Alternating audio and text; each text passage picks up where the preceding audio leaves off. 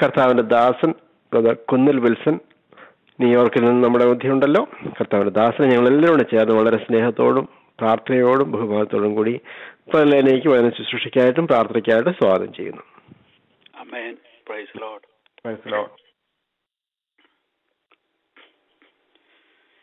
എണ്ണി എണ്ണി സ്തുതിക്കുവാൻ. എണ്ണമില്ലാത്ത കൃപകളിനായി ഇന്നയോളം തൻ ഭുജത്താൽ എന്നെ താങ്ങിയ നാമമേ ഇന്നയോളം തൻ ഭുജത്താൽ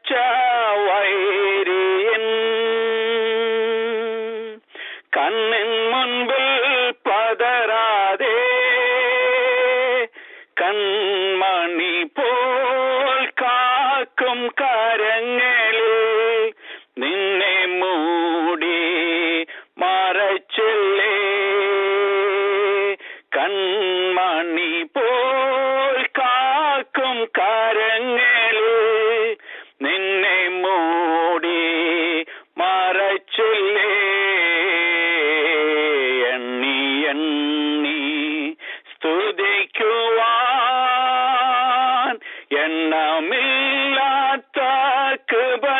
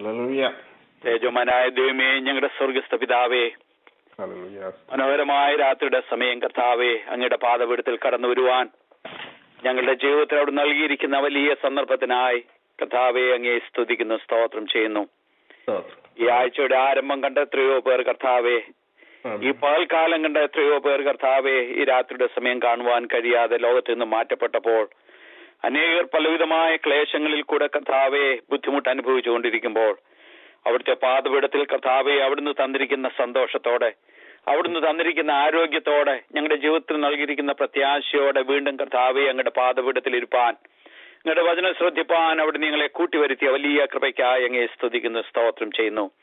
ലീഡ് ചെയ്യുന്ന ദേവദാസിനെ അവിടുന്ന് സഹായിക്കണമേ അനുഗ്രഹിക്കണമേ. ലൈനിൽ കടന്നു വന്നിരിക്കുന്ന അങ്ങയുടെ ജനത്തെ തൃക്കരങ്ങൾ ഭരമേൽപ്പിച്ച് പ്രാർത്ഥിക്കുന്ന കർത്താവെ അങ്ങയുടെ കരം വെച്ച് നിന്റെ ജനത്തെ അവിടുന്ന് വിടുവിക്കുകയും സഹായിക്കുകയും ചെയ്യുമാറാകണമേ. ജീവിതത്തിൽ കർത്താവെ എണ്ണി എണ്ണി അങ്ങേ സ്തുതിപ്പാൻ എണ്ണമില്ലാത്ത നന്മകൾ ഞങ്ങളുടെ ജീവിതത്തിൽ നൽകി തന്ന കർത്താവെ പറഞ്ഞു തരാത്ത എല്ലാ ദാനങ്ങളെയും ഓർത്ത് ഒരിക്കൽ കൂടെ അങ്ങേ നന്ദിയോടങ്ങേ സ്മരിക്കുവാൻ ഓർക്കുവാൻ.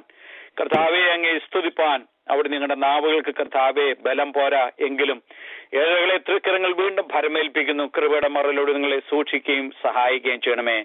ദൈവത്തിനും വായിച്ച് സഹായിക്കുന്ന ദൈവദാസിക്കായ സ്തോത്രം.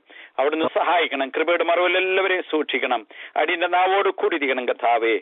യേശു കർത്താവിന്റെ ഇമ്പമാർന്ന നാമത്തിൽ അപേക്ഷിക്കുന്നു. കേൾക്കുമാറാകണമേ. അമേൻ ഈ നല്ല ശനിയാഴ്ച രാത്രികാലത്തിനായി കർത്താവിനെ സ്തുതിക്കുന്നു. ദൈവത്തെ മഹത്വപ്പെടുത്തുന്നു. ആഴ്ചയുടെ ദിവസങ്ങളൊക്കെയും രാജ്യത്തിന്റെ വിവിധ ഭാഗങ്ങളിൽ അതികഠിനമായ ശൈത്യത്തിലൂടെ ഒക്കെ നമ്മൾ കടന്നുപോയി. നമ്മയേക്കാൾ ഐ മീൻ ഞങ്ങളായിരിക്കുന്ന സ്ഥലത്തേക്കാൾ ശൈത്യത്തിലൂടെ കടന്നുപോയ പല പ്രിയപ്പെട്ടവർ ലൈനിൽ കാണും എന്ന് ഞാൻ പൂർണമായി വിശ്വസ് വിശ്വസിക്കുകയാണ്. എന്നാൽ ആ ശൈത്യത്തിന്റെ അവസ്ഥയിലും ദൈവത്തിന്റെ താങ്ങുന്ന കരം നമ്മോട് കൂടിരുന്ന് പരിപാലിച്ച് ഇത്രത്തോളം ദൈവം നമ്മെ വഴി നടത്തി. നമ്മുടെ ജീവന് വേണ്ടിയതും ഭക്തിക്ക് വേണ്ടിയതും ഓരോ ദിവസവും നൽകി തന്ന് വഴി നടത്തുന്ന ദൈവത്തിന്റെ വലിയ കൃപയ്ക്കായി കർത്താവിനെ സ്തുതിക്കുന്നു സ്തോത്രം ചെയ്യുന്നു. ഇന്ന് രാത്രികാലം തണുപ്പിന്റെ പ്രയാസത്തിലൂടെ ആരെങ്കിലും ശാരീരികമായ ക്ലേശങ്ങളിലൂടെ കടന്നു പോകുന്നുണ്ടെങ്കിൽ കർത്താവിന്റെ മുറിവേറ്റ കരം. പ്രിയപ്പെട്ടവരുടെ മേൽ ഈ രാത്രി രാത്രികാലം തൊട്ട് കർത്താവ് സൗഖ്യപ്പെടുത്തുവാൻ കർത്താവിന്റെ കരങ്ങളിൽ വിഷയം ഭരമേൽപ്പിച്ച് നമുക്ക് ഒരുമിച്ച് പ്രാർത്ഥിപ്പാൻ ദൈവം നമ്മെ സഹായിക്കട്ടെ ദൈവത്തിന്റെ വിടുതൽ അനുഭവിപ്പാൻ ദൈവം സഹായിക്കട്ടെ. ഇന്ന് രാത്രികാലം കഥാവിന്റെ വലിയ സാന്നിധ്യത്തിനായി ദൈവത്തെ സ്തുതിക്കുന്നു സ്തോത്രം ചെയ്യുന്നു. ഒരിക്കൽ കൂടെ ലൈനിൽ കടന്നു വന്നിരിക്കുന്ന എല്ലാ പ്രിയപ്പെട്ടവർക്കും എന്റെ ക്രിസ്തീയ വന്ദനത്തെ അറിയിക്കുന്നു. ദൈവം നമ്മെ ഒരുമിച്ച് സഹായിക്കുകയും അനുഗ്രഹിക്കുകയും കർത്താവിന്റെ മന്ദമായ ശബ്ദം ഈ സംസാരിക്കുന്ന അടിയനോടും കേൾക്കുന്ന നിങ്ങളോടും അത് ഹൃദ്യമായി രാത്രികാലം ഇടപെടുവാൻ ദൈവം സഹായിക്കുകയും അനുഗ്രഹിക്കുകയും ചെയ്യുമാറാകട്ടെ. കർത്താവിന് സ്തോത്രം. നമ്മുടെ വേദഭാഗത്തേക്ക് നമുക്ക് കടന്നു പോകാം. അപ്പോസ്തല പ്രവർത്തികൾ രണ്ടാം അധ്യായത്തിന്റെ മുപ്പത്തി ഏഴ് മുതൽ നാൽപ്പത്തി ആറ് വരെയുള്ള വാക്യങ്ങൾ നമുക്ക് വായിക്കാം. ഇത് കേട്ടിട്ട് അവർ ഹൃദയത്തിൽ കുത്തുകൊണ്ടു പത്രോസിനോട് ശേഷം അപ്പസ്തലന്മാരോടും സഹോദരന്മാരായ പുരുഷന്മാരെ ഞങ്ങൾ എന്തു ചെയ്യണ്ടു എന്ന് ചോദിച്ചു. പത്രോസ് അവരോട് നിങ്ങൾ മാനസാന്തരപ്പെട്ട നിങ്ങളുടെ പാപങ്ങളുടെ മോചനത്തിനായി ഓരോരുത്തരും യേശുക്രിസ്തുവിന്റെ നാമത്തിൽ സ്നാനം ഏൽപ്പീൻ. എന്നാൽ പരിശുദ്ധാത്മാവ് എന്ന ദാനം ലഭിക്കും. വാഗ്ദത്വം നിങ്ങൾക്കും നിങ്ങളുടെ മക്കൾക്കും നമ്മുടെ ദൈവമായ കർത്താവ് വിളിച്ചു വരുത്തുന്ന ദൂരസ്ഥന്മാരായ ഏവർക്കും ഉള്ളതല്ലോ എന്ന് പറഞ്ഞു. മറ്റു പല വാക്കുകളാലും അവൻ സാക്ഷ്യം പറഞ്ഞു. അവരെ പ്രബോധിപ്പിച്ചു. ഈ വക്രതയുള്ള വക്രതയുള്ള തലമുറയിൽ നിന്ന് രക്ഷിക്കപ്പെടുവാൻ രക്ഷിക്കപ്പെടുവീൻ എന്ന് പറഞ്ഞു. അവന്റെ വാക്ക് കൈക്കൊണ്ടവർ സ്നാനമേറ്റു. അന്ന് മൂവായിരത്തോളം പേർ അവരോട് ചേർന്നു. അവർ അപ്പോസ്തലന്മാരുടെ ഉപദേശം കേട്ടും കൂട്ടായ്മ ആചരിച്ചും അപ്പം നുറുക്കിയും പ്രാർത്ഥന കഴിച്ചും പോന്നു. എല്ലാവർക്കും ഭയമായി. അപ്പോസ്തലന്മാരാൽ ഏറിയ അത്ഭുതങ്ങളും അടയാളങ്ങളും നടന്നു. വിശ്വസിച്ചവരെല്ലാവരും ഒരുമിച്ചിരുന്ന സകലവും പൊതുവകയെന്ന് എണ്ണുകയും ജന്മഭൂമികളും വസ്തുക്കളും വിറ്റ് അവനവന് ആവശ്യമുള്ളതുപോലെ എല്ലാവർക്കും പങ്കിടുകയും ഒരുമനപ്പെട്ട ദിനംപ്രതി ദേവാലയത്തിൽ കൂടി വരികയും വീട്ടിൽ അപ്പം നുറുക്കിക്കൊണ്ട് ഉല്ലാസവും ഹൃദയ പരമാർത്ഥതയും പൂണ്ട് ഭക്ഷണം കഴിക്കുകയും ദൈവത്തെ സ്തുതിക്കുകയും സകല ജനത്തിന്റെയും കൃപ അനുഭവിക്കുകയും ചെയ്തു. കർത്താവ് രക്ഷിക്കപ്പെടുന്നവരെ ദിനം പ്രതി സഭയോട് ചേർത്തുകൊണ്ടിരുന്നു. ആമേൻ. ആമേൻ. ദൈവനം വായിച്ച് നമ്മെ കേൾപ്പിച്ച സഹായിച്ച പ്രിയ ദൈവദാസിയെ ഓർത്ത് ദൈവത്തെ സ്തുതിക്കുന്ന ദൈവം അനുഗ്രഹിക്കുകയും ആശീർവദിക്കുകയും ചെയ്യുമാറാകട്ടെ. കർത്താവിന് സ്തോത്രം. നമ്മൾ ഈ ദിവസങ്ങളിൽ ഈ കഴിഞ്ഞ കാലയളവിലൊക്കെ നമ്മൾ ധാരാളം ഇന്നും നമ്മൾ കേട്ടുകൊണ്ടിരിക്കുന്ന ഒരു വിഷയമാണ് കർത്താവിന്റെ മടങ്ങിവരവ് എന്നുള്ളത്. ആ മടങ്ങിവരവ് എന്നുള്ള വിഷയവും അതിനോടനുബന്ധിച്ച് പിന്നീട് നടക്കുവാനുള്ള വിഷയങ്ങളുമൊക്കെ ദൈവത്തിന്റെ വചനത്തിൽ പറഞ്ഞിരിക്കുന്നത് നാം കേൾക്കുകയും നാം അത് കേട്ട് നമ്മുടെ പ്രത്യാശ ഉണരുവാനും അതിനുവേണ്ടി കാത്തിരിക്കുവാനും ഒക്കെ നമ്മെ തന്നെ ഒരുക്കി ദൈവകരങ്ങളിൽ ഭരമേൽപ്പിച്ചുകൊണ്ടിരിക്കുന്ന നാളുകളാണ് ഈ നാളുകൾ. എന്നാൽ അതിന്റെ മറുവശം ഇത് ഈ ദൈവത്തിന്റെ വചനത്തിൽ വ്യക്തമായി ഈ വിവരങ്ങളൊക്കെ എഴുതിയിരിക്കുകയും ലോക സംഭവങ്ങളും ആനുകാലിക വിഷയങ്ങളും ഒക്കെ അതിലേക്ക് വിരൽ ചൂണ്ടുകയും ചെയ്യുമ്പോൾ ഒരു വ്യക്തി വിശ്വസിക്കുകയോ വിശ്വസിക്കാതിരിക്കുകയോ ചെയ്യുന്നു എന്നുള്ളത് കൊണ്ട് ദൈവത്തിന്റെ വചനത്തിൽ എഴുതിയിരിക്കുന്ന ദൈവവചനത്തിന് യാതൊരു വ്യത്യാസവുമില്ല എന്ന് നമുക്ക് കാണുവാനായി കഴിയുന്നു.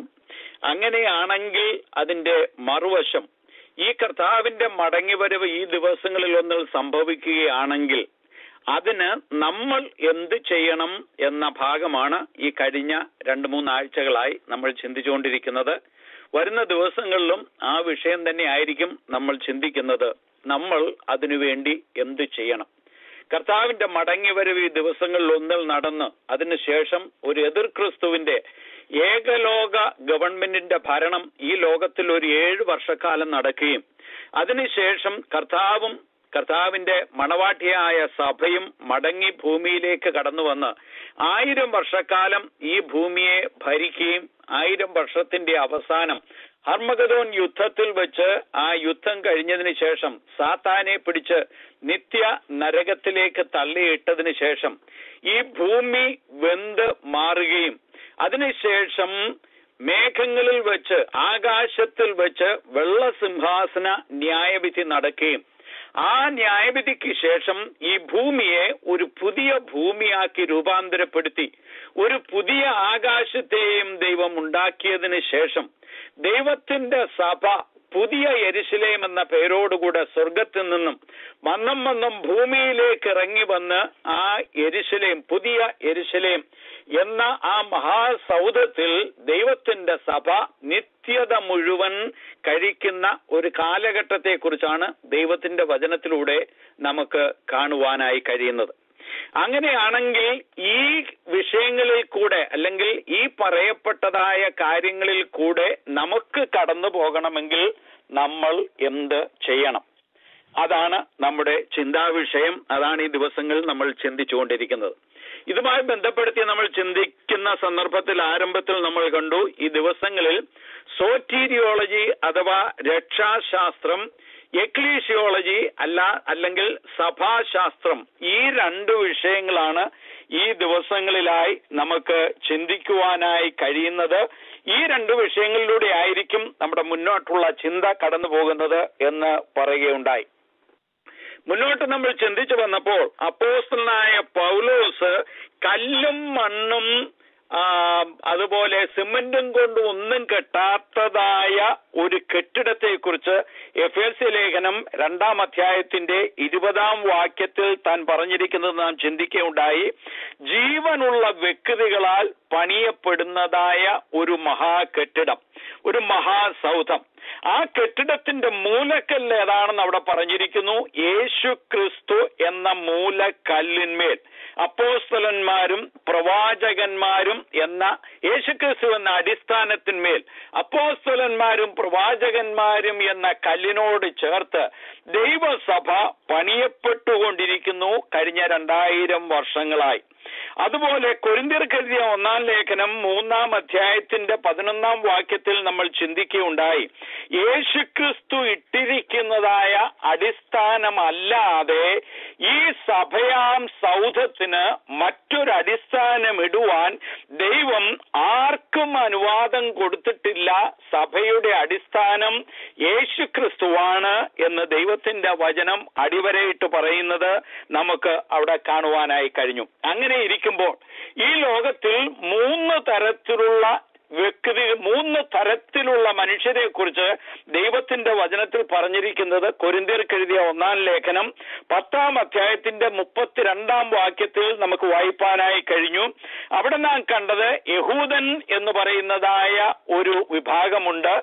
ജാതികൾ അല്ലെങ്കിൽ യഹൂദനല്ലാതെയുള്ള ബാക്കിയുള്ള എല്ലാ മനുഷ്യരും എന്ന് പറയുന്ന ഒരു കൂട്ടരുണ്ട്. ഈ യഹൂദന്മാരിൽ നിന്നും ജാതികളിൽ നിന്നും വിളിച്ചു വേർതിരിക്കപ്പെട്ട ദൈവത്തിന്റെ സഭയായ ഒരു കൂട്ടർ ഉണ്ട്. അവരെ വിളിച്ചു വേർതിരിക്കപ്പെട്ടവർ അല്ലെങ്കിൽ ദൈവസഭ എന്ന പേരിൽ നമുക്ക് കാണുവാൻ കഴിയുന്നു.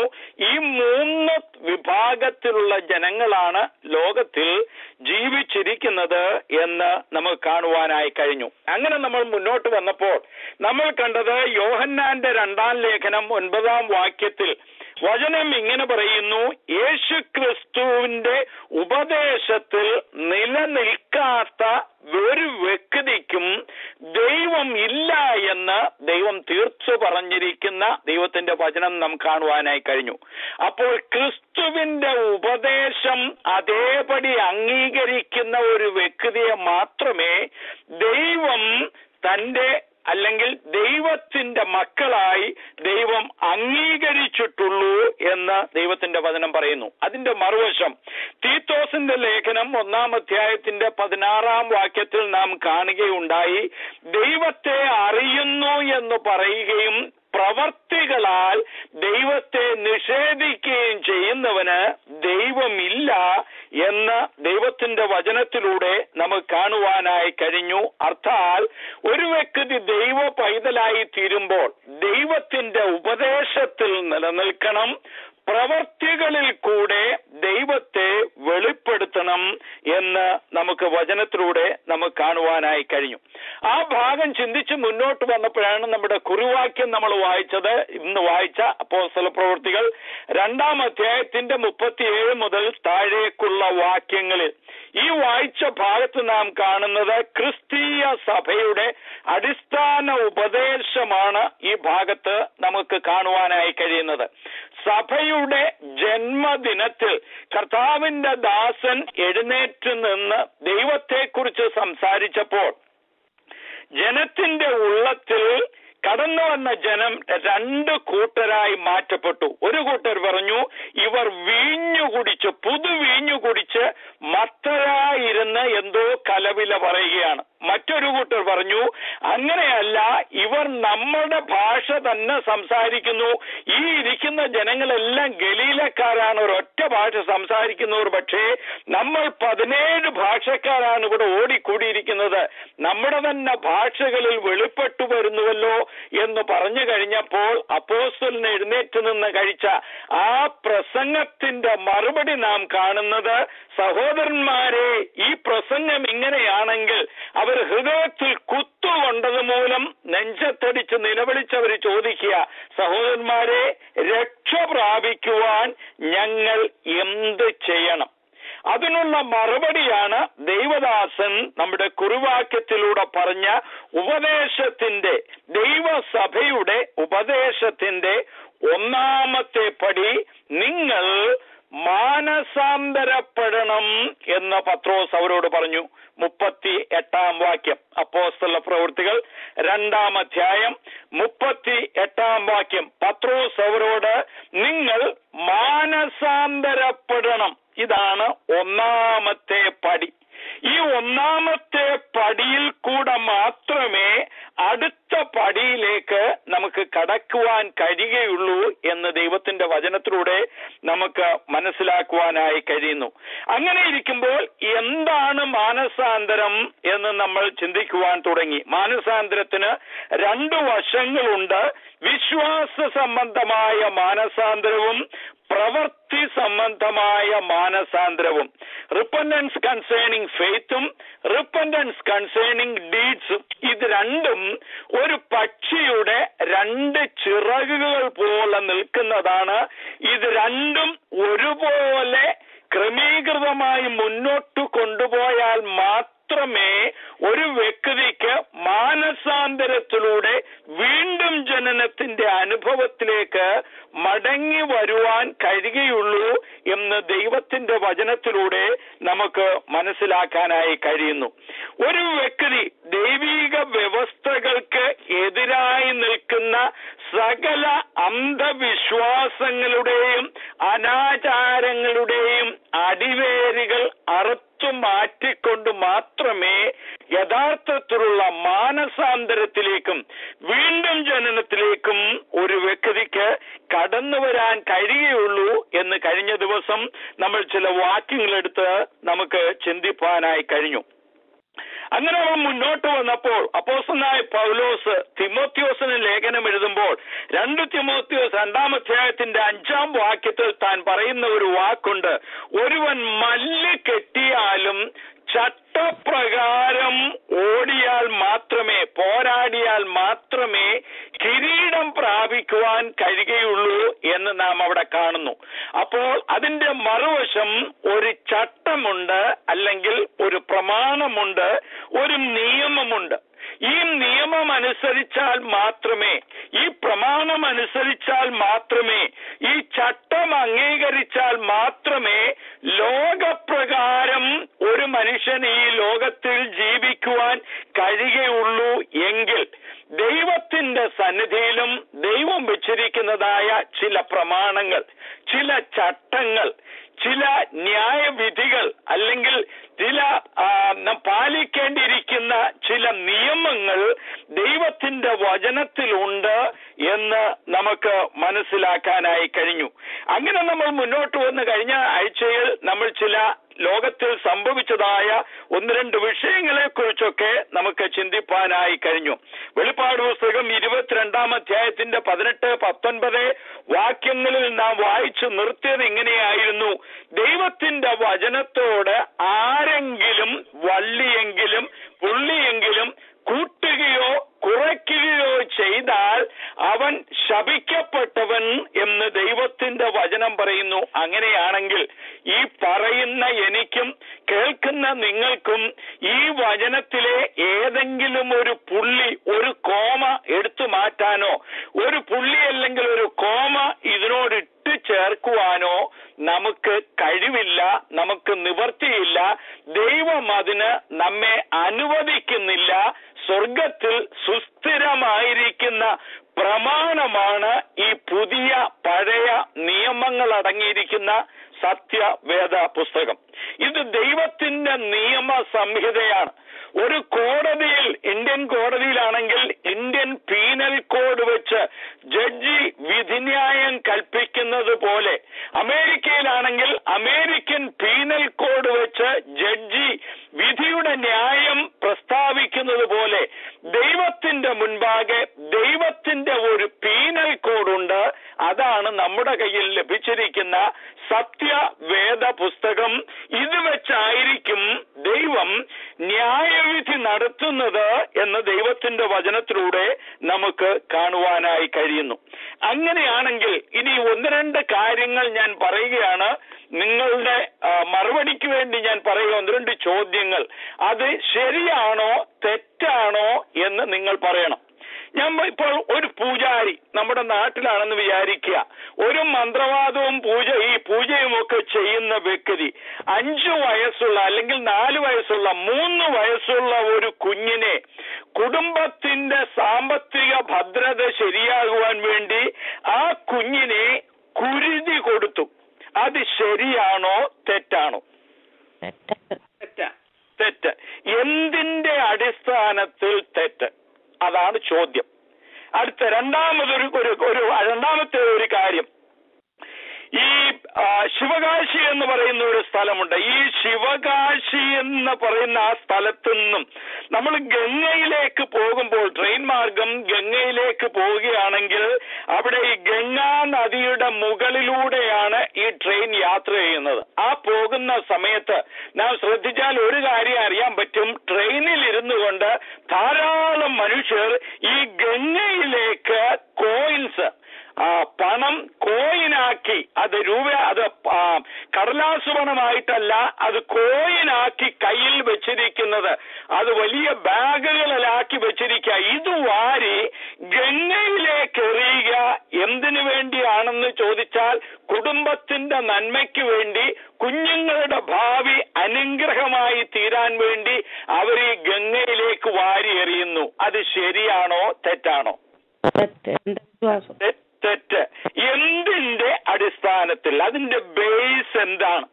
അങ്ങനെയാണെങ്കിൽ അവർ വിശ്വസിക്കുന്നതായ വിശ്വാസം ശരിയാണോ തെറ്റാണോ എന്ന് നാം അത് തെറ്റാണെന്ന് പറയുന്ന പറയുവാനുള്ള കാരണം എന്താണ് എന്ന ഒരു ചോദ്യം വരാം. അതിന്റെ അടുത്ത ഒരു ചോദ്യം. നമ്മൾ ഒരു ഒരുപക്ഷെ കണ്ടിട്ടുണ്ടായിരിക്കും നമ്മുടെ കേരളത്തിൽ ശരണം വിളിച്ചുകൊണ്ട് വലിയ തീക്കുണ്ടമുണ്ടാക്കി അതിലേക്കെടുത്ത് ചാടുന്നവരുണ്ട്. ദൈവത്തെ പ്രീതിപ്പെടുത്തുവാൻ വേണ്ടി. ശരിയോ തെറ്റോ? തെറ്റ്. തെറ്റ്. നിങ്ങൾ പറയുന്നു തെറ്റാണ് ഇപ്പോ അതുപോലെ മറ്റൊരു കാര്യം നമ്മുടെ നാട്ടിൽ നടക്കുന്ന ഒരു കാര്യമാണ് നമ്മുടെ പുറത്തുള്ള മസിലിൽ നമ്മുടെ ഷോൾഡറിലുള്ള മസിലിൽ അതിൽ കൂടെ ഇരുമ്പ് കൊളുത്തുകൾ അതിനകത്ത് കുത്തി കയറ്റി ഇങ്ങനെ തൂങ്ങിക്കിടക്കുന്ന വ്യക്തികളെ നമ്മൾ കൈയിട്ടുണ്ട് കണ്ടിട്ടുണ്ട്. ദൈവത്തെ പ്രസാദിപ്പിക്കുവാൻ വേണ്ടി ശരിയോ തെറ്റോ. അതും തെറ്റാണെന്ന് നിങ്ങൾ പറയുന്നു. അപ്പൊ എന്തിന്റെ അടിസ്ഥാനത്തിലാണ് നമ്മൾ അത് തെറ്റെന്ന് പറഞ്ഞത്?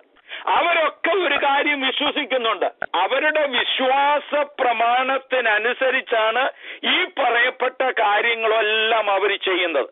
അവർ വിശ്വസിക്കാത്ത ഒരു കാര്യമല്ല അവർ ചെയ്യുന്നത്.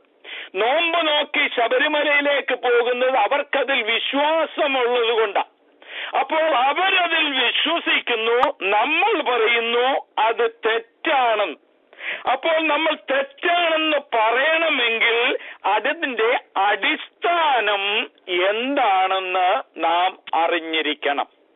അടിസ്ഥാനം അറിഞ്ഞില്ലെങ്കിൽ നമുക്കറിയാം ഏതൊരു വിഷയവും ആർക്കും എങ്ങനെയും വിശ്വസിക്കാം. ലോകത്തിൽ ജീവിക്കുന്ന ഏത് മനുഷ്യനും എന്തും വിശ്വസിക്കുവാനുള്ള സ്വാതന്ത്ര്യമുണ്ട്. ദൈവമുണ്ടെന്ന് വിശ്വസിക്കാം ദൈവമില്ലെന്ന് വിശ്വസിക്കാം. ദൈവം നൂറ് തലയുള്ളവനാണെന്ന് വിശ്വസിക്കാം. ദൈവം തലയില്ലാത്തവനാണെന്ന് വിശ്വസിക്കാം. ദൈവം രൂപമുള്ളവനാണെന്ന് വിശ്വസിക്കാം. ദൈവം രൂപമില്ലാത്തവനാണെന്ന് വിശ്വസിക്കാം. ദൈവം രക്തം കുടിക്കുന്നവനാണെന്ന് വിശ്വസിക്കാം. ഇല്ലാത്തവനാണെന്ന് വിശ്വസിക്കാം. ആർക്കും എന്തും വിശ്വസിക്കാം. ആചാരങ്ങൾ ആർക്കും അവർ വിശ്വസിക്കുന്ന ആചാരങ്ങൾ ചെയ്യുവാൻ കഴിയും. എന്നാൽ ദൈവം അപ്രൂവ് ചെയ്യുന്ന ഒരു വിശ്വാസ വിശ്വാസമേ ഉള്ളൂ ദൈവത്തിന് പ്രസാദകരമായി തീരുന്നത്. അതിന്റെ മറുവശം ദൈവം അപ്രൂവ് ചെയ്യാത്ത യാതൊരു വിശ്വാസക്രമങ്ങളും ആചാരങ്ങളും ദൈവത്തിന് പ്രസാദകരമല്ല. അപ്പൊ നമ്മുടെ കയ്യിലിരിക്കുന്നതായ ഈ തിരുവഴുത്ത് അപ്രൂവ് ചെയ്യാത്ത യാതൊരു വിഷയങ്ങളും ദൈവത്തിന് പ്രസാദകരമല്ല. നൂറ് ശതമാനം. ഇവിടെയാണ് ഒരു ക്രിസ്ത്യാനിയുടെ ധൈര്യം വെളിപ്പെടേണ്ടത്. നാം യേശു പല ദൈവങ്ങളിൽ ഒന്നല്ല യേശു അല്ലാതെ മറ്റൊരു ദൈവം ഇല്ലേ ഇല്ല. ക്രൈസ്തവ മതത്തിനുള്ളിൽ യേശുവിനെയും ഒരു ദൈവമായി അംഗീകരിക്കുന്ന ധാരാളം പേരുണ്ട്. മറ്റൊരു ദൈവത്തിന് നമ്മൾ നിങ്ങൾ ഒരുപക്ഷെ ചിലരെ കണ്ടിട്ടോ അല്ലെങ്കിൽ കേട്ടിട്ടെങ്കിലും ഉണ്ടായിരിക്കും. അവരുടെ വീടിന്റെ പൂജാമുറിയിൽ അവിടെ ഹൈന്ദവ ദൈവങ്ങളുടെയും ക്രിസ്തുവിന്റെ രൂപവും ഇസ്ലാം നബിയുടെ രൂപവും ഈ എല്ലാ ദൈവങ്ങളുടെയും രൂപങ്ങൾ ഫോട്ടോകളാക്കി വെച്ച് ഇതിനെയെല്ലാം ആരാധിക്കുന്ന മനുഷ്യരുണ്ട് നമ്മുടെ മലയാളികളുടെ കൂട്ടത്തിൽ. ധാരാളം പേരുണ്ട് അങ്ങനെയുള്ളവർ അതുപോലെ നമ്മുടെ നാട്ടിൽ ഈ പ്രൈവറ്റ് ബസ്സിൽ യാത്ര രാവിലെ വെളുപ്പിനെയുള്ള പ്രൈവറ്റ് ബസ്സിൽ യാത്ര ചെയ്താൽ പ്രത്യേകിച്ച് നമ്മുടെ ചെങ്ങന്നൂർ തിരുവല്ല പന്തളം ഈ ഭാഗങ്ങളിലൊക്കെ കൂടെ പോയിട്ടുള്ളവർക്കൊക്കെ അറിയാം. അതിരാവിലെ പോകുന്ന ബസ്സുകൾ അവർ പോകുമ്പോൾ ആദ്യം കാണുന്ന പള്ളിക്കുറ്റിയിൽ കൊണ്ട് പൈസ ഇടും. അതിനുശേഷം മുന്നോട്ട് പോകുമ്പോൾ ആദ്യം കാണുന്ന അമ്പലത്തിൽ അവർ പൈസ ഇടും. അത് കഴിഞ്ഞ് മുന്നോട്ട് പോകുക. ആദ്യം കാണുന്ന മോസ്കിലുള്ള നേർച്ചപ്പെട്ടിയിൽ പൈസ ഇടും.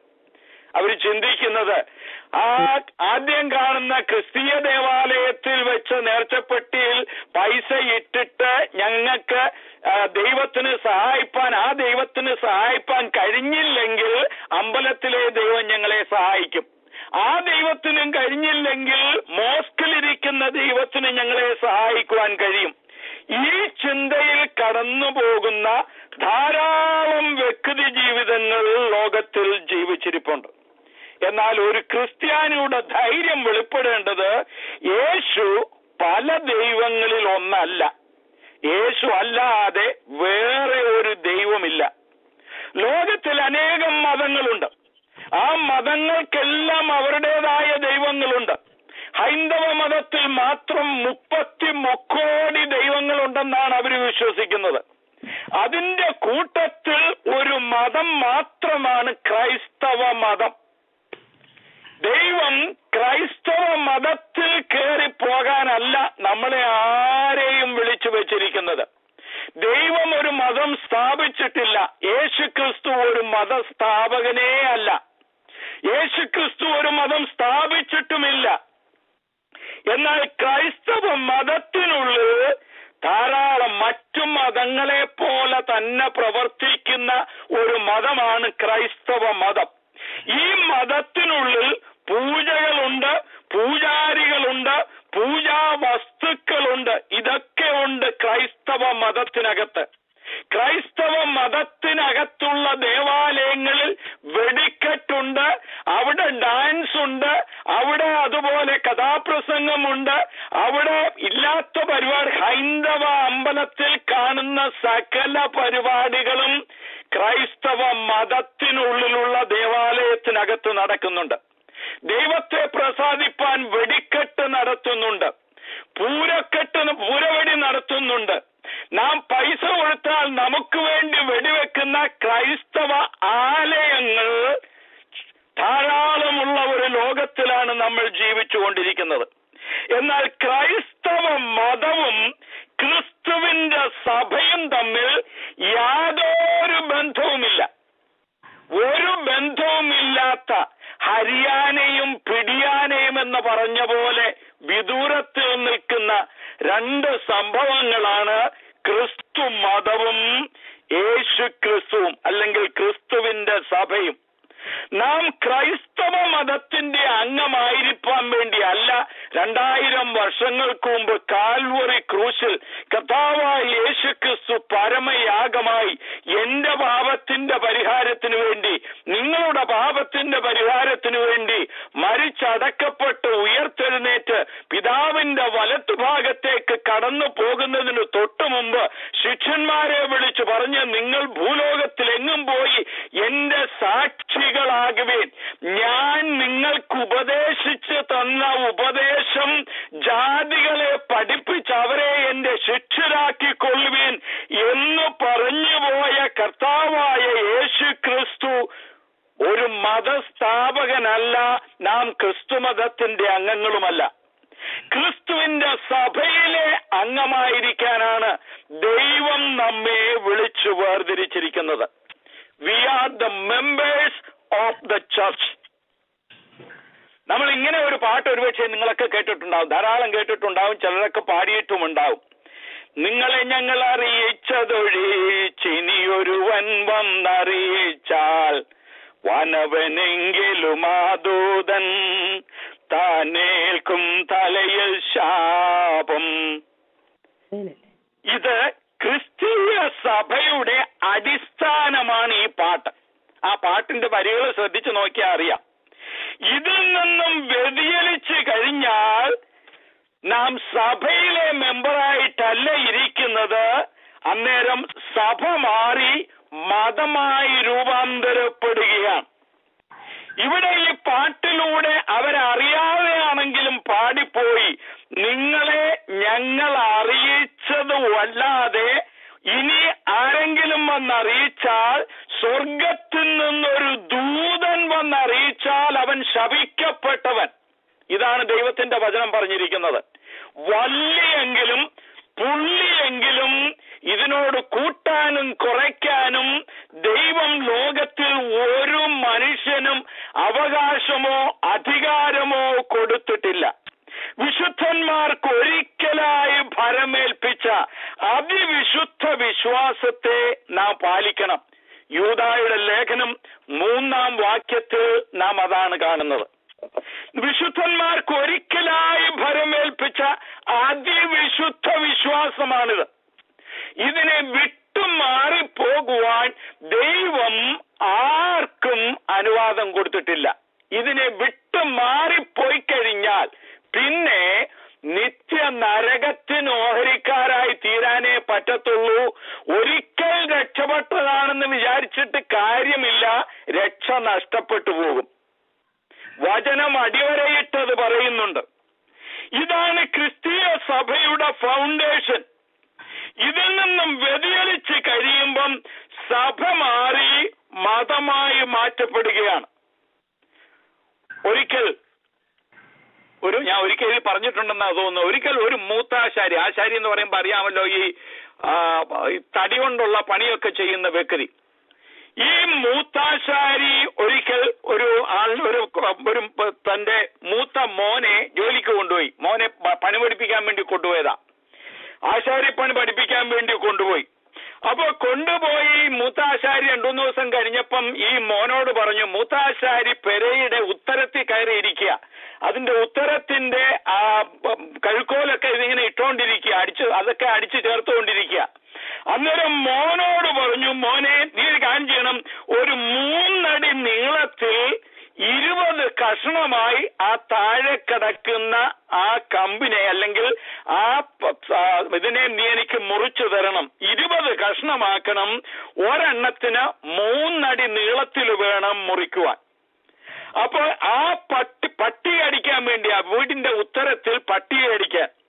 അപ്പോ ഇത് ഈ മൂത്താശാരി പറഞ്ഞു കൊടുത്തു ഈ മോൻ പോയി ഇത് കൊണ്ടുവന്ന് മൂന്നടി നീളത്തിൽ മുറിച്ചു കൊണ്ടുവന്നു മുറിച്ചു കൊണ്ടുവന്നു മൂത്താശാരിയുടെ കയ്യിൽ ആദ്യത്തെ കഷ്ണം കൊടുത്തു ആദ്യത്തെ കഷ്ണം മൂത്താശാരി വാങ്ങിച്ചു നോക്കിയപ്പം താൻ കൊടുത്ത അളവുമായിട്ട് വലിയ വ്യത്യാസമില്ല ഒരല്പം വ്യത്യാസം വന്നിട്ടുണ്ട് അല്പം വ്യത്യാസം സാരമില്ലെന്ന് വിചാരിച്ചു അത് വാങ്ങിച്ചിട്ട് അടുത്ത കഷ്ണം ഇങ്ങ് എടുക്കാൻ പറഞ്ഞു രണ്ടാമത്തെ കഷ്ണം എടുത്തു കൊടുത്തപ്പം ആദ്യം കൊടുത്തതായ ആ പട്ടികയേക്കാൾ ഒരു കാ- ആ കാലിഞ്ചും കൂടെ നീള കുറവാ രണ്ടാമത്തെ പീസിന് ഇത് കണ്ടപ്പോ ആശാരിക്ക് സംശയം തോന്നി നീ അടുത്ത പീസിന് എടുത്തേ അതെടുത്ത് നോക്കിയപ്പം ഈ രണ്ടാമത്തെ പീസിനെ കാട്ടി കാലിഞ്ചൂടെ കുറവാ മൂന്നാമത്തെ പീസിന് അവസാനം ഇരുപത് കഷ്ണവും താൻ എടുത്തു നോക്കിയപ്പം ഇരുപതാമത്തെ പട്ടിക എടുത്ത് നോക്കിയപ്പോൾ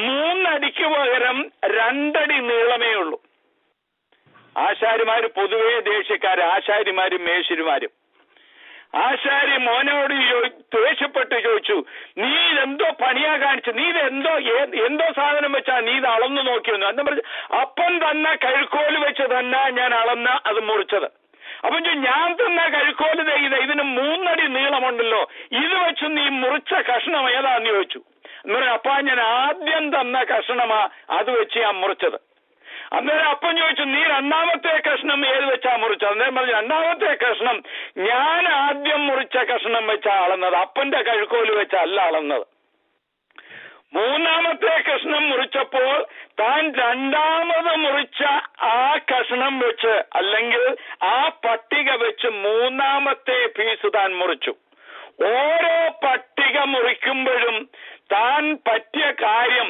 താൻ അതിന് തൊട്ടു മുമ്പ് താൻ മുറിച്ചു വെച്ച ആ കഴുക്കോൽ എടുത്തു വെച്ച അടുത്ത പീസ് മുറിച്ചത്. ഇങ്ങനെയാണ് ക്രൈസ്തവ മതത്തിൽ കാര്യങ്ങൾ സംഭവിച്ചത്. നമുക്കറിയാം ചരിത്രത്തിലൂടെ നോക്കി അറിയാം മൂന്നാം നൂറ്റാണ്ടായപ്പോൾ കോൺസ്റ്റന്റൈൻ ചക്രവർത്തി എന്ന് പറയപ്പെടുന്ന ഒരു വ്യക്തി തന്റെ രാഷ്ട്രീയ നിലനിൽപ്പിന് വേണ്ടി താൻ ക്രിസ്തു മതം സ്വീകരിക്കുകയുണ്ടായി. കാരണം താൻ യുദ്ധത്തിനു വേണ്ടി കടന്നുപോയപ്പോൾ താൻ തോൽക്കുന്ന പരിതസ്ഥിതി വന്ന് താൻ ദൈവത്തോട് നിലവിളിച്ച് കരഞ്ഞപ്പോ താൻ സ്വർഗത്തിൽ താൻ ആകാശത്തേക്ക് നോക്കിയപ്പോൾ ഒരു കുരിശിന്റെ അടയാളം പോലെ തനിക്ക് തോന്നി. അപ്പോൾ താൻ ചിന്തിച്ചു തന്നെ ഈ ക്രിസ്ത്യാനികളുടെ ദൈവം തനിക്ക് പ്രത്യക്ഷപ്പെട്ട് ഈ യുദ്ധത്തിൽ ജയിക്കും എന്നെനിക്ക് ഒരു മുന്നറിയിപ്പ് തന്നിരിക്കുകയാണ്. അതുകൊണ്ട് യുദ്ധത്തിൽ ഞാൻ ജയിക്കാൻ പോവുകയാണെന്ന് കരുതിയ കോൺസ്റ്റന്റൈൻ ആ യുദ്ധത്തിൽ പിന്നീട് താൻ തോൽക്കുമെന്ന് ചിന്തിച്ച വ്യക്തി താൻ ജയിക്കുകയുണ്ടായി. അപ്പൊ തന്റെ തുടർന്നുള്ള തന്റെ രാജ്യഭരണത്തിന് അല്ലെങ്കിൽ തന്റെ രാഷ്ട്രീയ നിലനിൽപ്പിന് വേണ്ടി താൻ ക്രിസ്തു മതം സ്വീകരിച്ചു. അർത്ഥാൽ ക്രിസ്തു മതത്തിന്റെ ഒരു മെമ്പറായി താൻ തീരുകയുണ്ടായി. അത് ചെയ്തതോടുകൂടെ ഈ ആ കാലഘട്ടത്തിൽ മൂന്നാം ഒന്ന് രണ്ട് മൂന്ന് നൂറ്റാണ്ടുകളിലൊക്കെ ക്രൈസ്തവ മതത്തിന് നേരെ അതികഠിനമായ പീഡകളാണ് ലോകത്ത് നിന്നുണ്ടായിക്കൊണ്ടിരുന്നത് എന്നാൽ ഈ കോൺസ്റ്റന്റിയൻ ചക്രവർത്തി ക്രിസ്തു മതത്തിലേക്ക് ചേർന്ന് കഴിഞ്ഞപ്പോൾ ക്രിസ്ത്യാനികൾക്കെതിരെയുള്ള പീഡനം വളരെയേറെ കുറയുവാനിടയായി തീർന്നു. ജനത്തിന് സ്വാതന്ത്ര്യം കൊടുത്തു. എന്നിട്ട് താനൊരു വിളംബരം നടത്തി. തന്റെ ഭരണ അധികാരത്തിൻ കീഴിലുള്ള സകല ജാതികളായ ജനങ്ങളും ഈ ക്രൈസ്തവ മതത്തിലേക്ക് കടന്നു വരണം എന്ന് താൻ ഒരു വിളംബരം പ്രസിദ്ധമാക്കി. ആ വിളംബരം പ്രസിദ്ധമാക്കിയതോടുകൂടെ താൻ ഒരു കാര്യം കൂടെ ചെയ്തു. ക്രൈസ്തവ വിശ്വാസത്തിൽ ഉണ്ടായിരുന്ന പല ഉപദേശങ്ങളുടെ കടുംപിടുത്തങ്ങൾ താൻ അല്പാൽപമായി അയച്ചു കൊടുത്തു അയച്ചു കൊടുത്തു കഴിഞ്ഞപ്പോൾ ജാതികളിൽ നിന്നും ജനങ്ങൾ കൂട്ടം കൂട്ടമായി ഈ ക്രിസ്തു മതത്തിനുള്ളിലേക്ക് കടന്നു വരുവാൻ തുടങ്ങി. ഇത് ഈ ലോകത്തിന്റെ പ്രഭുവായ സാത്താൻ കൊടുത്ത ഒരു പ്ലാനായിരുന്നു. ഉപദേശത്തിൽ അയവ് വരുത്തി ജാതികളുടെ ആചാരങ്ങളെ ക്രൈസ്തവ മാർഗത്തിലേക്ക് കൊണ്ടുവന്നു. ഇന്ന് നാം കണ്ടുകൊണ്ടിരിക്കുന്നതും അത് തന്നെയാണ്. ധാരാളം ന്യൂ ജനറേഷൻ കുമിള പൊട്ടി വരുന്നത് പോലെ പൊട്ടി പൊട്ടി പുറത്തേക്ക് വന്നുകൊണ്ടിരിക്കുന്ന ഒരു കാലയളവിലാണ് നാം പാർത്തുകൊണ്ടിരിക്കുന്നത്. കാരണം അന്ത്യകാലത്തിന്റെ ശക്തമായ തെളിവുകളാണത്. അന്ത്യകാലത്ത് വിശ്വാസം കണ്ടെത്തുമോ എന്ന ചോദ്യത്തിന് മറുപടിയായി ക്രൈസ്തവ മതത്തിനുള്ളിൽ അനേകരെ ആക്കി തീർക്കുവാൻ വേണ്ടി ഉപദേശത്തിൽ അയവ് വരുത്തി ഉപദേശത്തിനകത്ത് മാലിന്യം കലർത്തി ഉപദേശത്തിനകത്ത് വിഷം കലർത്തി അനേകരെ മതത്തിനുള്ളിലേക്ക് കൊണ്ടുവരുന്ന ന്യൂ ജനറേഷൻ ഗ്രൂപ്പുകളെ ഇഷ്ടം പോലെ ഈ കാലങ്ങളിൽ നമുക്ക് കാണുവാൻ കഴിയും. ഈ മൂന്നാം നൂറ്റാണ്ടിലും ക്രൈസ്തവ ആചാരങ്ങളെ അല്ലെങ്കിൽ ജാതികളുടെ അനേകം ആചാരങ്ങളെ ഈ ക്രൈസ്തവ മാർഗത്തിലേക്ക് കൊണ്ടുവരാൻ തുടങ്ങി. മൂന്നാം നൂറ്റാണ്ട് തുടങ്ങി. ഒന്നും രണ്ടും നൂറ്റാണ്ടുകളിൽ ഉപദേശത്തിന് കടുംപിടുത്തക്കാരായി നിന്ന ദൈവസഭയ്ക്കുള്ളിൽ ഉപദേശത്തിന് അയവ് പറ്റിക്കഴിഞ്ഞപ്പോൾ അത് മതത്തിലേക്ക് ചാഞ്ഞുപോയി. എട്ട് ഒൻപത് നൂറ്റാണ്ടുകളായപ്പോൾ ക്രൈസ്തവ മതം ലോകത്തിൽ ഒരു നികൃഷ്ടമായി മാറിക്കഴിഞ്ഞ ഒരവസ്ഥയിൽ എത്തിച്ചേർന്നു. സകല അശുദ്ധിയും സകല അധർമ്മവും നിറഞ്ഞ ഒന്നായി മാറ്റപ്പെട്ടു ക്രൈസ്തവ മതം. പത്ത് പതിനൊന്ന് നൂറ്റാണ്ടുകളായപ്പോൾ സുവിശേഷത്തിന്റെ പ്രകാശനമേ ഇല്ലാതെയായ ഒരു കാലഘട്ടം. വളരെ ചുരുക്കം പേർ മാത്രം ജീവന്റെ പ്രമാണം പാലിച്ച് ജീവിച്ചു പോകുന്നതായ കാലഘട്ടം. അങ്ങനെ ഇരിക്കുമ്പോഴാണ് ക്രൈസ്തവ മതത്തിനുള്ളിൽ പാപമോചന ചീട്ട് ഇറക്കിയത്. പാപമോചന ചീട്ട്. ഒരുവനെ കൊന്ന കുറ്റമാണെങ്കിൽ അതിന് ഇത്ര രൂപ പണമടച്ചാൽ ആ പാപം ക്ഷമിക്കപ്പെടും.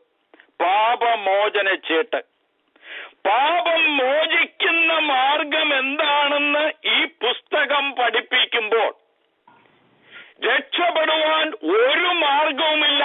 യേശുക്രിസ്തുവിന്റെ രക്തത്തിലൂടെ അല്ലാതെ എന്നീ പുസ്തകം ഖണ്ഡിതമായി പ്രസ്താവിക്കുമ്പോൾ ക്രൈസ്തവ മതത്തിനുള്ളിൽ പാപമോചന ചീട്ട് വന്നു കർത്താവെ എന്റെ പാപം ക്ഷമിക്കണമേ എന്ന് ആത്മാർത്ഥമായി ഏറ്റുപറയുമ്പോൾ കർത്താവും പാപം മോചിച്ചു തരുന്നു എന്ന് ദൈവത്തിന്റെ വചനം പഠിപ്പിക്കുമ്പോൾ ക്രൈസ്തവ മതം പഠിപ്പിച്ചു നിങ്ങൾ പാപം ചെയ്തെങ്കിൽ പാപമോചന ചീട്ട് വാങ്ങിച്ചാ മതി അത് കൊണ്ടുവന്നു കഴിഞ്ഞപ്പോൾ ക്രൈസ്തവ മതം സമ്പന്നമായി തീർന്നു കാരണം ലോകത്തിലുള്ള സകല മനുഷ്യരും പാപം ചെയ്യുന്ന വ്യക്തികൾ അവരുടെ പാപത്തിന്റെ പശ്ചാ പ്രായച്ചിത്തത്തിന് വേണ്ടി പണം കൊടുക്കുവാൻ അതിനുവേണ്ടി ചീട്ടുണ്ടാക്കി വെച്ചു ഈ പണം കൊടുത്ത് ചീട്ട് വാങ്ങിച്ചു കഴിഞ്ഞാൽ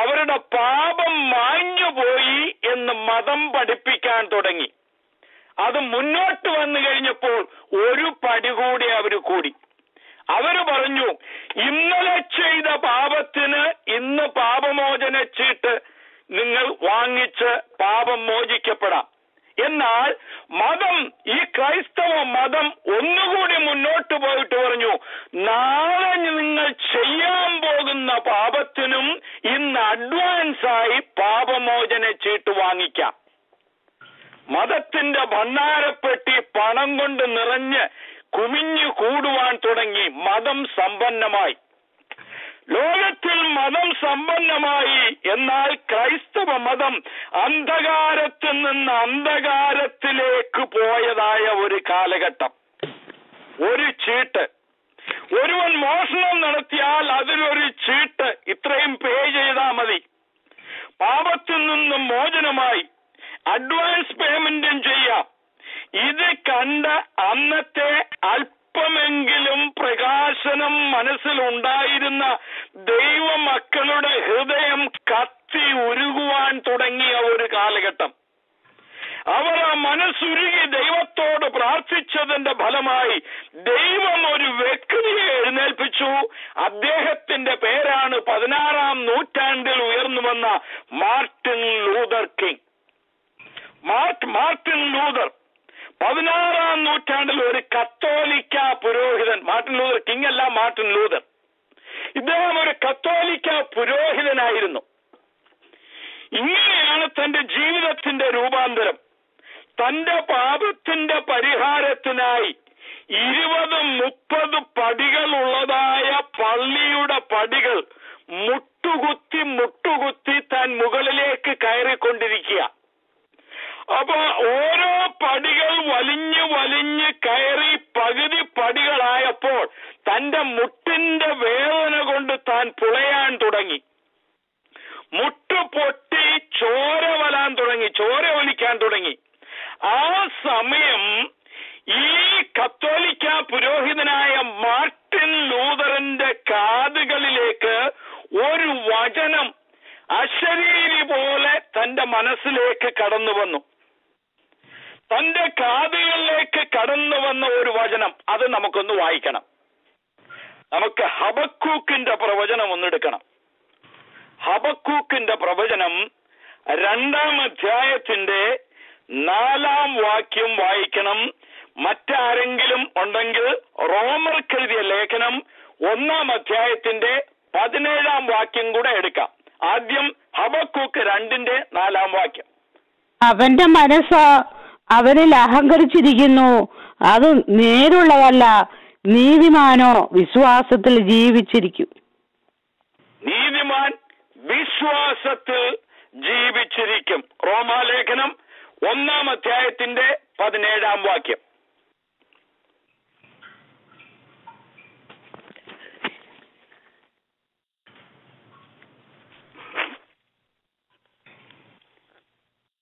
അതിൽ ദൈവത്തിന്റെ നീതി വിശ്വാസം ഹേതുവായും വിശ്വാസത്തിനായിക്കൊണ്ടും വെളിപ്പെടുന്നു. നീതിമാൻ വിശ്വാസത്താൽ ജീവിക്കും എന്ന് എഴുതിയിരിക്കുന്നുവല്ലോ. നീതിമാൻ വിശ്വാസത്താൽ ജീവിക്കും എന്നുള്ള വചനം. തന്റെ കാതുകളിൽ ഒരു അശരീരി പോലെ വന്നു വീണു. ഇത് കണ്ട് തന്റെ മനസ്സിലേക്ക് അത് വന്നു കഴിഞ്ഞപ്പോൾ താൻ ആ സ്റ്റെപ്പിൽ ചാടി എഴുന്നേറ്റ് മുട്ടുകുത്തി മുകളിലേക്ക് കയറിക്കൊണ്ടിരുന്ന ഒരു പുരോഹിതനായ മാർട്ടിൻ ലൂതർ അവിടെ നിന്ന് ചാടി എഴുന്നേറ്റു. താൻ സ്റ്റെപ്പിൽ മുന്നോട്ട് പോകാതെ താൻ ഓടി സ്റ്റെപ്പിൽ നിന്ന് താഴേക്കിറങ്ങി.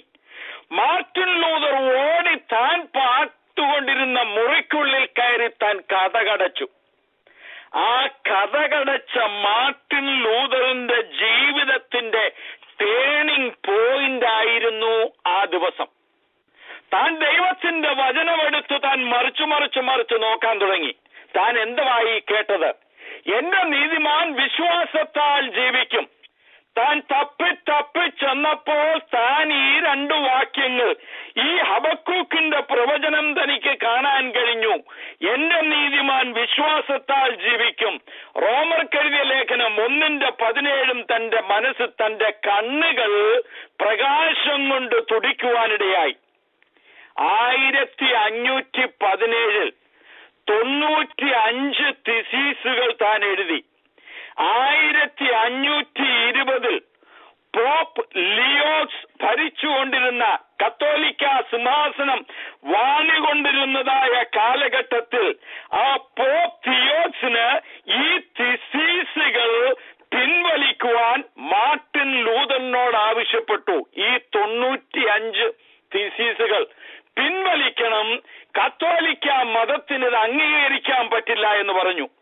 എന്നാൽ മാർട്ടിൻ ലൂതർ അത് ചെയ്തില്ല. വിശ്വാസത്താൽ പാപമോചനം ലഭിക്കുമെന്നും വിശ്വാസത്താൽ നീതീകരണം ലഭിക്കുമെന്നും ആദ്യമായ കാര്യങ്ങളെ മാർട്ടിൻ ലൂതർ പഠിപ്പിക്കുവാൻ തുടങ്ങി. അന്നത്തെ ക്രൈസ്തവ മതം അദ്ദേഹത്തെ നഖശിഖാന്തം എതിർത്തു. എന്നാൽ ദൈവം തന്നോടുകൂടെ ഇരുന്നു. അന്ന് മാർട്ടിൻ ലൂതർ ബലിയാടായി തീർന്നതുകൊണ്ട് അനേകർക്ക് ഈ സുവിശേഷത്തിന്റെ പ്രകാശം ലഭിക്കുവാൻ ഇടയായി തീർന്നു ദൈവത്തിന് സ്തോത്രം. പാപമോചന ചീട്ടെഴുതി ക്രൈസ്തവ മതം അന്ധവിശ്വാസങ്ങളെ വളർത്തി. അത് വളർത്തിയത് എങ്ങനെയാണെന്ന് ഞാൻ പറയാം. ഒരിക്കൽ ഒരു രാജാവ് തന്റെ കൊട്ടാരത്തിൽ പൂജ അർപ്പിക്കുവാൻ തന്റെ രാജ്യത്തിന്റെ ഭരണം നല്ല രീതിയിൽ മുന്നോട്ട് പോകുവാനും രാജാവിന്റെ ഭരണം തനിക്ക് ആയുഷ്മാൻ ഭവ എന്ന് പറഞ്ഞതുപോലെ ദീർഘകാലം ജീവിച്ചിരുന്ന് ഈ രാജ്യത്ത് ഭരണം നടത്തണമെന്ന് ആഗ്രഹം വന്നു കഴിഞ്ഞപ്പോൾ തനിക്കൊരു പൂജ വളരെ പ്രധാനപ്പെട്ട ഒരു പൂജ കഴിപ്പിക്കുവാൻ തൻ പരിപാടിയിട്ടു. പരിപാടിയിട്ടു രാജ്യത്തിന്റെ അഭിവൃദ്ധിക്ക് വേണ്ടി പൂജ നടത്തണം. തന്റെ ഭരണം നല്ല രീതിയിൽ പോകുവാൻ വേണ്ടി പൂജ നടത്തണം. പൂജാരികളെ വിളിച്ചു. അവർ പറഞ്ഞതായ പൂജയ്ക്ക് വേണ്ട എല്ലാ സാധനങ്ങളും ക്രമപ്പെടുത്തി. കൊട്ടാരത്തിൽ എന്നാൽ ഈ കൊട്ടാരത്തിൽ ഒരു കരിമ്പൂച്ച ഉണ്ടായിരുന്നു അപ്പോൾ പൂജയ്ക്ക് വേണ്ട സാധനങ്ങളെല്ലാം കൊണ്ടുവന്ന് ക്രമപ്പെടുത്തി പൂജ നടന്നുകൊണ്ടിരിക്കുന്നതിന്റെ മധ്യത്തിൽ ഈ കരിമ്പൂച്ച അതുവഴി ചാടിക്കേറി വന്ന് ഈ പൂജ നടത്തിക്കൊണ്ടിരുന്നതിന്റെ ഇടയ്ക്കൂടെ ഒരു ഓട്ടം കൊടുത്തു. ഇത് ഓടിക്കഴിഞ്ഞപ്പോൾ ഈ പൂജയ്ക്ക് ക്രമീകരിച്ചു വെച്ചിരുന്ന പാൽ പൂച്ച ഓടിയ സന്ദർഭത്തിൽ അത് പാലത് കവിണ്ണു ആ പാൽ അവിടെ ആ പാത്രത്തിൽ നിന്നും താഴേക്ക് പാൽ താഴേക്ക് വീണുപോയി. ആ താഴെ വീണ പാലിനെ ഈ പൂച്ച നക്കി കുടിക്കാൻ തുടങ്ങി. അപ്പൊ പൂജ ഉഴപ്പായി. വളരെ പ്രധാനപ്പെട്ട ഒരു പൂജയാണ് നടന്നത്. പക്ഷേ ഈ പൂച്ച കാരണം പൂജ ഉഴപ്പി. രാജാവ് ഉടനെ ഓർഡർ ഇട്ടു ആ കരിമ്പൂച്ചയെ പിടിച്ച് പത്തായത്തിലിട്ടിട്ട് ഇനിയും പൂജ നടത്താവൂ എന്ന് താൻ ഓർഡർ ഇട്ടു പിറ്റേന്ന് പൂജയ്ക്ക് വീണ്ടും ക്രമീകരണം നടത്തി. ക്രമീകരണം നടത്തിയ സന്ദർഭത്തിൽ ഈ കരിമ്പൂച്ചയെ പിടിച്ച് പത്തായത്തിൽ കൊണ്ടിട്ട് പത്തായം അടച്ചിട്ട് പൂജ നടത്തി. ഒരു കുഴപ്പവും ഉണ്ടായില്ല. അല്പനാൾ കഴിഞ്ഞു രാജാവ് മരിച്ചു. ഈ പൂച്ചയും ചത്തു. രാജാവിനൊരു മകനുണ്ടായിരുന്നു.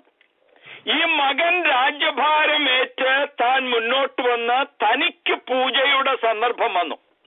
ആ പൂജയുടെ സന്ദർഭം വന്നപ്പോൾ പണ്ട് താൻ ഒരു കുഞ്ഞു ബാലനായിരുന്ന സമയത്ത് പൂജയിൽ പങ്കെടുത്ത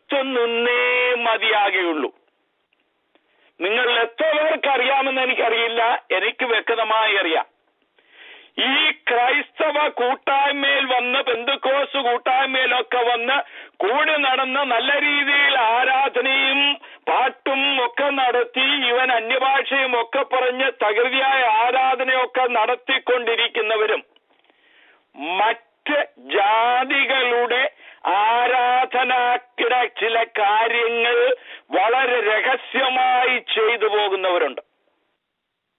പണ്ട് ചെയ്തിരുന്നതും പണ്ടാരെങ്കിലും പറഞ്ഞു ചെയ്യിപ്പിച്ചതുമായ കാര്യങ്ങൾ തുടർന്നുകൊണ്ടിരിക്കുന്ന രക്ഷിക്കപ്പെട്ടു എന്ന് പറയപ്പെടുന്നവരുടെ കൂട്ടത്തിലും ഇങ്ങനത്തെ കാര്യങ്ങൾ നടക്കുന്നുണ്ട്. ക്രൈസ്തവ മതത്തിൽ ധാരാളം അന്ധവിശ്വാസങ്ങൾ അനാചാരങ്ങൾ ധാരാളമുണ്ട് ക്രൈസ്തവ മതത്തിനുള്ളിൽ. ഇന്ന് രാത്രി നമുക്ക് അവിടേക്ക് കടപ്പാൻ സമയമില്ല. നമ്മുടെ മുമ്പാകെ സമയം തീരുകയാണ്. രക്ഷിക്കപ്പെട്ടു വരുന്ന ഒരു വ്യക്തി അതിനു മുമ്പ് താൻ കഴിച്ചുകൊണ്ടിരുന്ന ആചാരങ്ങൾ അനുഷ്ഠാനങ്ങൾ എന്തിനേറെ പെട്ടെന്നൊന്ന് ഒരു കാര്യം മാത്രം പറഞ്ഞു വിട്ടേക്കാം. പണ്ട് കാലത്ത് ഒരു നല്ല കാര്യത്തിന് ഇറങ്ങാൻ നേരത്ത് ഒരു വിവാഹം അല്ലെങ്കിൽ ഒരു പെണ്ണ് കാണാൻ പോവുക ഒരു ജോലിക്ക് ഇന്റർവ്യൂവിന് പോവുക ജോലിക്ക് ആദ്യത്തെ ദിവസം പോകുക ഇതൊക്കെ പോകുന്ന സമയത്ത് ഇറങ്ങി വരുമ്പോൾ ഒരു പൂച്ച ഒന്ന് കുറുകെ ചാടിയാൽ അപശകുനമായി. തിരിച്ച് വീട്ടിൽ കയറിയിട്ടേ പിന്നെ മുന്നോട്ട് പോത്തുള്ളൂ കാരണം പൂച്ച കുറുകെ ചാടി. കാലങ്ങൾക്ക് ശേഷം രക്ഷിക്കപ്പെട്ടു. ദൈവസന്നിധിയിൽ കടന്നു വന്നു ദൈവസഭയിൽ വന്നു സ്നാനപ്പെട്ടു അഭിഷേകം പ്രാപിച്ചു. ഇപ്പോഴും ഒരു നല്ല കാര്യത്തിന് ഇറങ്ങി പുറത്തെ കല്യാണത്തിന് പെങ്കൊച്ചിനെയും കൊണ്ട് കാറി കയറ്റി മുന്നോട്ട് കാറ് സ്റ്റാർട്ട് ചെയ്ത് ഒന്നെടുത്ത ഉടനെ ഒരു പൂച്ച കുറുകെ ചാടിയാൽ തിരികെ പോകുന്ന പെന്തുകോസുകാരുണ്ട് അന്ധവിശ്വാസമാണ് നമ്മുടെ പഴയ അന്ധവിശ്വാസം തള്ളിക്കളഞ്ഞില്ലെങ്കിൽ വില കൊടുക്കേണ്ടി വരും. അന്ധവിശ്വാസത്തിന്റെ വേര് പാടെ മുറിച്ചു മാറ്റിയാലേ പറ്റത്തുള്ളൂ. ദൈവത്തിൽ വിശ്വസിക്കുമ്പോൾ അന്ധവിശ്വാസത്തിന്റെ ഒരു ലാഞ്ചന പോലും ഒരു ദൈവവൈതലിന്റെ ജീവിതത്തിൽ കടന്നു വരാൻ പാടില്ല. ഇന്നും പണ്ട് കാലത്ത് റോഡ് സൈഡിൽ വെച്ചിരിക്കുന്ന ക്ഷേത്രങ്ങളുടെ മുമ്പിലും മോസ്കിന്റെ മുമ്പിലുമൊക്കെ ചെല്ലുമ്പോൾ ഭയഭക്തിയോടെ നടന്നുകൊണ്ടിരുന്ന ഒരു കാലത്തെ മത ക്രൈസ്തവ മതത്തിനുള്ളിലുണ്ടായിരുന്നവർ. പിൽക്കാലത്ത് രക്ഷിക്കപ്പെട്ടു വന്നതിന് ശേഷവും ഈ അമ്പലത്തിന്റെ മുമ്പിലൂടെയും ഈ മോസ്കിന്റെ മുമ്പിലൂടെയും പോകുമ്പോൾ ഭയത്തോടെ ഒരക്ഷരം പോലും മിണ്ടാതെ അങ്ങോട്ട് വളരെ ഭയത്തോടെ നോക്കി തല അല്പം ചരിച്ചു പിടിച്ച് കടന്നു പോകുന്നവരുണ്ട്. ഇന്നും പണ്ടുണ്ടായിരുന്ന ആചാരങ്ങളും അനുഷ്ഠാനങ്ങളും കൂട്ടത്തിൽ കർത്താവിനെയും കൂട്ടി നമുക്ക് മുന്നോട്ട് പോകാൻ പറ്റില്ല അതല്ല വചനത്തിന്റെ വ്യവസ്ഥ. വചനത്തിന്റെ വ്യവസ്ഥ വിട്ടുകളയാനുള്ളത് വിട്ടുകളഞ്ഞേ പറ്റത്തുള്ളൂ. വചനം പറയുന്നത് വിട്ടു പോരുക എന്നാ പറഞ്ഞത്. അബ്രഹാമിനെ വിളിച്ചപ്പം ദൈവം പറഞ്ഞു അബ്രഹാമിനോട് അബ്രഹാമേ നീ നിന്റെ അപ്പനുണ്ടാക്കിയ ബിംബത്തെ മുഴുവൻ തല്ലി പൊട്ടിച്ചതിന് ശേഷം വേണം നിന്നെ കാണിപ്പാനിരിക്കുന്ന ദേശത്തേക്ക് നീ പോവാൻ. അബ്രഹാമിനെ ദൈവം വിളിച്ചപ്പോ അതിന്റെ വല്ല കാര്യം ഉണ്ടായിരുന്നോ? അബ്രഹാമിനെ അങ്ങ് വിളിച്ചോണ്ട് പോയാ പോരായിരുന്നോ? പക്ഷേ തമ്പുരാൻ പറഞ്ഞു ഇത് ചെയ്തിട്ട് വേണം വരാൻ. ഒരു കാരണവശാലും ആ ഭാഗത്തേക്ക് ഇനി തിരിഞ്ഞു നോക്കാനിടയായി തീരരുത്. ഞാൻ എന്റെ വാക്കുകൾ ഇവിടെ നിർത്തട്ടെ. രാത്രികാലം ഈ വചനം കേട്ടുകൊണ്ടിരുന്ന പ്രിയപ്പെട്ടവരെ നമുക്ക് ദൈവത്തിനു വേണ്ടി നേരോടെ നിൽക്കാം. ദൈവനാമത്തിനു വേണ്ടി നേരോടെ നിൽക്കാം. നാം പിടിച്ച വിശ്വാസത്തെ മുറുകെ പിടിക്കാം. അന്ധകാരത്തിന്റെ യാതൊരു ചിന്തകളും അനാചാരങ്ങളുടെ പണ്ട് നമ്മൾ അനുഷ്ഠിച്ചു കൊണ്ടിരുന്ന ഏതെങ്കിലും ഒരു കാര്യം ഇന്നും നമ്മുടെ മനസ്സിന്റെ ഏതെങ്കിലും കോണിൽ കിടപ്പുണ്ടെങ്കിൽ വചനത്തിന് വിരുദ്ധമായ യാതൊന്നും ഉണ്ടാകുവാൻ ഇടയാകാതെ അതിനെയെല്ലാം പാടെ പറിച്ച് ദൂരെ എറിഞ്ഞു കളയുവാൻ നമുക്കിടയായി തീരട്ടെ. വചനം കേട്ട എല്ലാ പ്രിയപ്പെട്ടവരെയും ദൈവം അതിന് സഹായിക്കട്ടെ ദൈവം അനുവദിക്കുന്നുവെങ്കിൽ തുറന്നുള്ള ദിവസങ്ങളിൽ മുന്നോട്ടെത്തി ചിന്തിപ്പാൻ ദൈവം സഹായിക്കട്ടെ ഞാൻ വാക്കുകൾ നിർത്തുന്നു ദൈവം എല്ലാവരെയും അനുഗ്രഹിക്കട്ടെ ആശീർവദിക്കട്ടെ. ദൈവത്തിന് സ്തോത്രം.